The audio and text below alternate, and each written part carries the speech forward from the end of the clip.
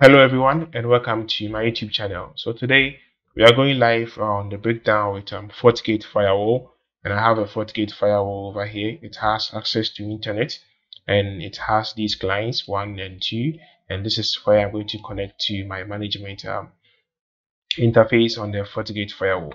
So this is the web10 PC over here. It's a browser PC. It has access to internet so uh, I will just reload the pages and as you can see it's loading. And I've also started a capture to capture the packets on this interface um, connect, connecting the FortiGate firewall to my local network. Now this is the capture. It's already capturing packets over here. So don't worry I'll just clear it and start it up start again.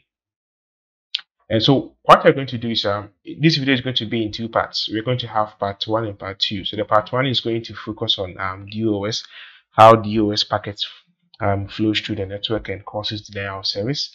And also, um, it overwhelms the firewall or the gateway, either a router or a switch.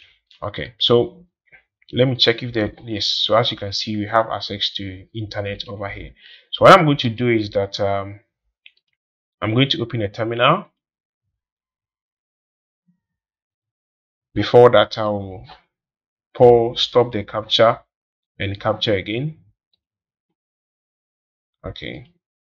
No no problem.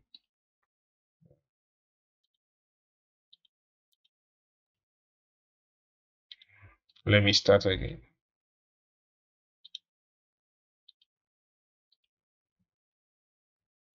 Okay. So I'm going to show you my gateway which is the, um, the gateway for my FortiGate firewall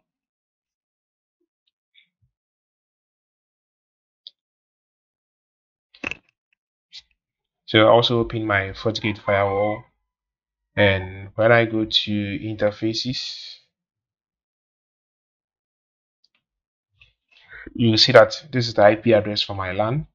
So let me check and as you can see it's the same thing that, that we have here in the app cache.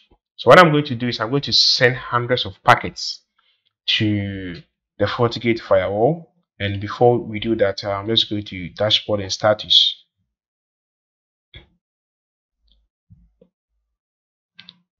Now monitor the current CPU usage. Let me do it this way. Um,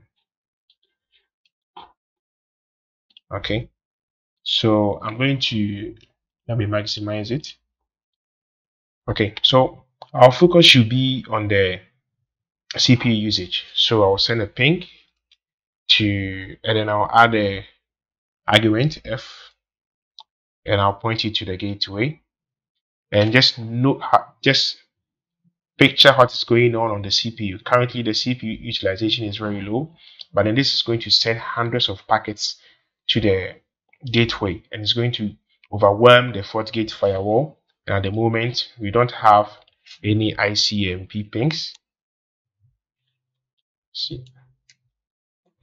Okay, so I will filter it this way and I'm going to send the pings so the F argument is going to send hundreds of packets per second to the FortiGate firewall. So this is a virtual environment, so um, we might be limited to the attack, but then it's still it's still going to work. So I'm going to send hundreds of packets into the network, and the packets are flowing. As you can see, these are hundreds of packets pointing to the FortiGate firewall. At the moment, we have um, 36 um, 3000 going to 4000 7000 5000 so let's check the FortiGate firewall.